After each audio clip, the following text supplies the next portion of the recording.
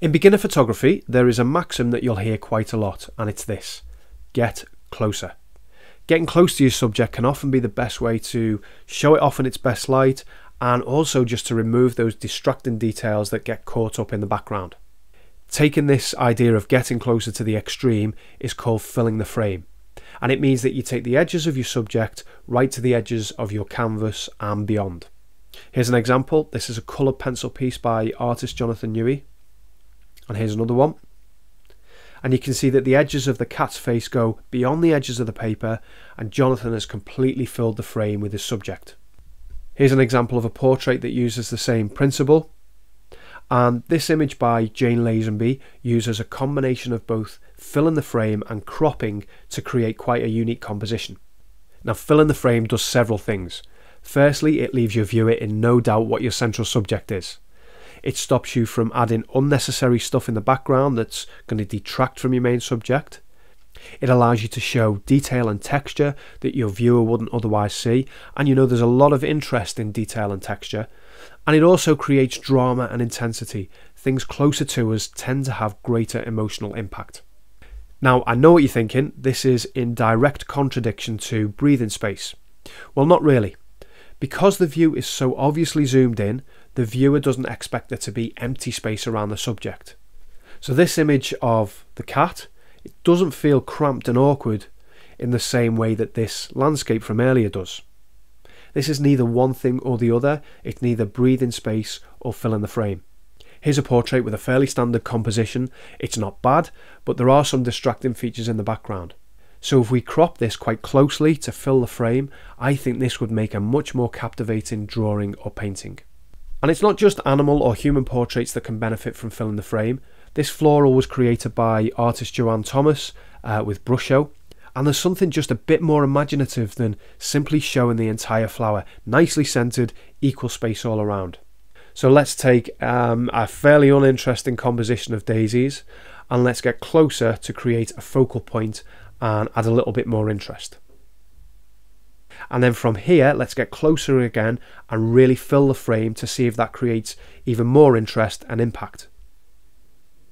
Now these aren't necessarily better than the previous example, um, they're just different.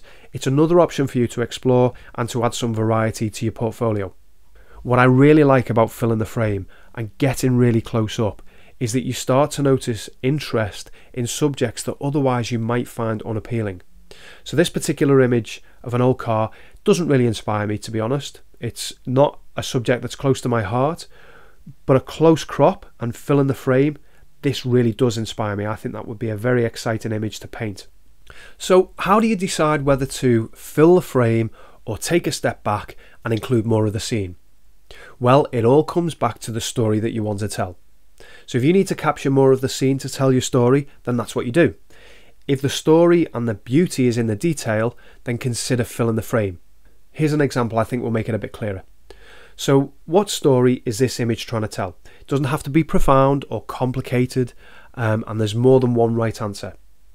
Well, we can't see anything of the craftsman, so it's not about him as an individual. I would say it's more about the interaction between the mallet and the chisel and the effect that it has on the wood. So because this photo isn't about the individual, I think it would be better served by filling the frame or at least moving in quite a bit closer. Something like this tells me more about that interaction between the mallet, the chisel and the wood. And I could even go all Michelangelo and leave the slightest of gaps between the mallet head and the chisel in anticipation of them connecting. If my story is about the hammer and the chisel, this composition is much clearer than this one. This one's a little bit nondescript. It's neither about the tools or the man. Now, what if the story you want to tell is more about the individual craftsman? Well, now I have to take a step back. This tells me more of a story about the person, doesn't it? So this is looking more like the kind of drawing or painting that you'd give to the person that features in it. The composition ticks the principle of thirds box. Um, there's plenty of breathing space on the right. If you're being pedantic, you know, you might say he's carving out of the scene out of the picture so he'd be better on the right hand side but there's definitely not enough contrast on the focal point you know this light area over on the right hand side is too dominant and I think is detracting too much from him but my main issue with this composition being about the craftsman is that he isn't big enough. So this is starting to become more about the workshop and someone, anyone, working within it. I think you just about get away with it here, but I just want you to imagine if the photographer was a little bit further out, so she gets more of the workshop. Can you visualize how that balance between workshop and individual makes it more craftsman generic? Less about a specific individual and more about a craftsman, any craftsman working in a workshop. That's not a bad thing, but it doesn't match the story that we want to tell. Here's a composition that does capture the individual and the concentration on his craft. And my favourite for this story is this composition. If this gentleman was a relative of mine and I was drawing a picture, painting a picture to capture him, this is the kind of composition that I would choose. And I'll leave you with this uh, very obvious example. Here's a portrait that, well, it fills a lot of the frame and it's a nice, pleasing composition, but you'd never choose it for this particular lady because it misses the whole point. Okay, so let's move on to the next lesson now, and that's vantage point.